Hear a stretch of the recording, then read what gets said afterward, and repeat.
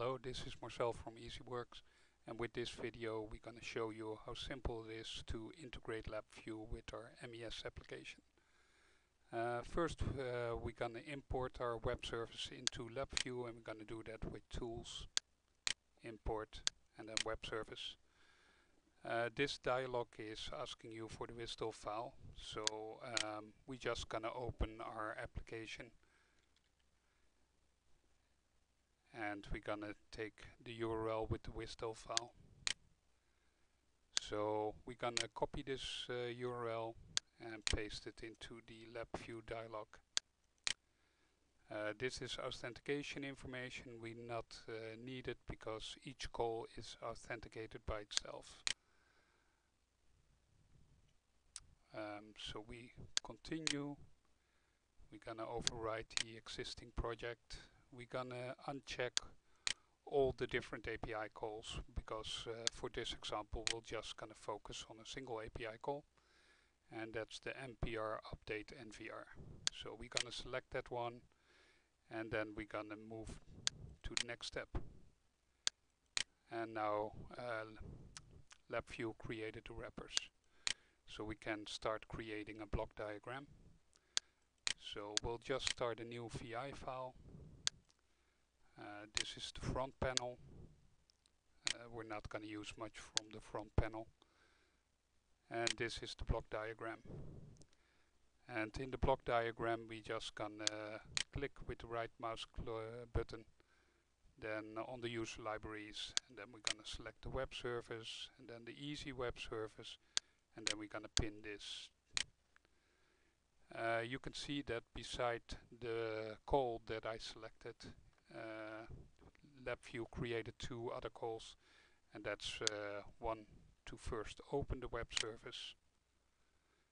Then we're gonna add in our call. The next one and the last one is to close the web service.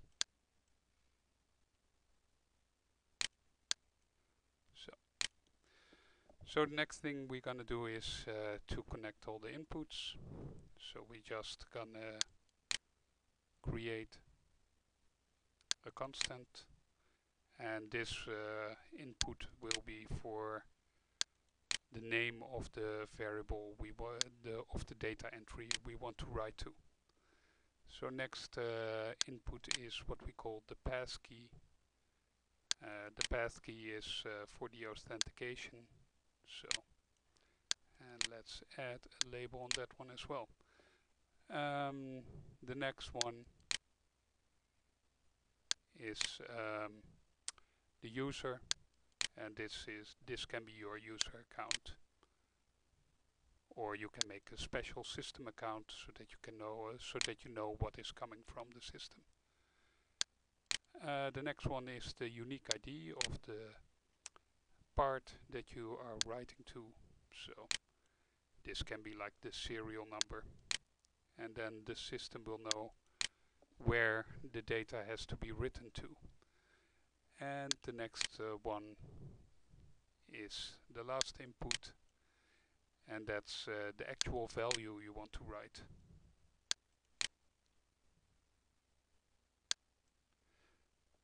So these are the inputs. Uh, the only thing we have to connect is the output and we're going to make an indicator and that one is appearing on the front panel and we'll just resize it.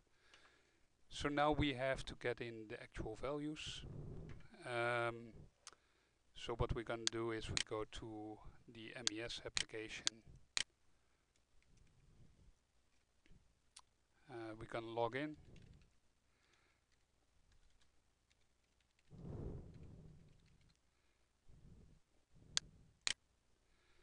And the first thing uh, you can see I was logged in as Marcel. That's the same name that we're going to use here as the username. Then this uh, uh, lab, um, the input is the passkey and the passkey we can just get from the user dialog and we press the new passkey and we just copy this passkey and paste it into this input. So the next one is um, um, the unique ID, the name and the data entry. And to better know what we are writing to, we'll just open up a traveler. And the traveler is uh, in the MES, it's the object that is carrying the parts and is creating the data entries. So in this case you can see there are two parts on it. One has a serial number of SN001 and the other one SN002. And we have like an, uh, an text input that we want to address through uh, LabVIEW and that's uh, the name that we're going to use here as well. So LabVIEW text input. And now we can enter the uh, UID. So that's the serial number. So we're going to write to the first part. And now let's see if we can write hello to that part. Um, I like this feature, it just uh, slows it down a bit and then you can see how it executes. So we're now basically done and let's see if we can write hello to the first part. So you can see um, the call executing. Here you can see that uh, the error code is zero. That means no errors uh, um, occurred.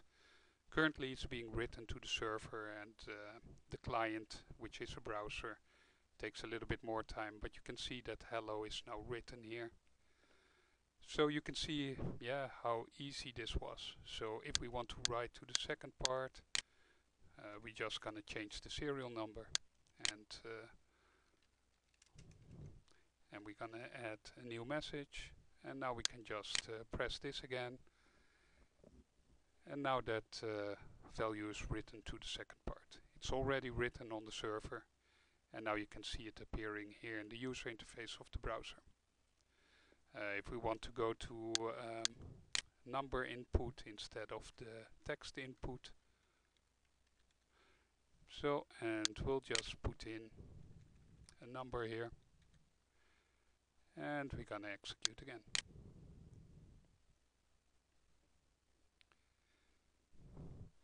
So you can see how easy it is. Uh, this is all um, described in more detail on our help pages.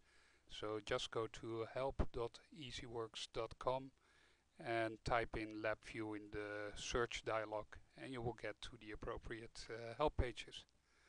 Um, thank you for listening and uh, see you with the next demo. Bye bye.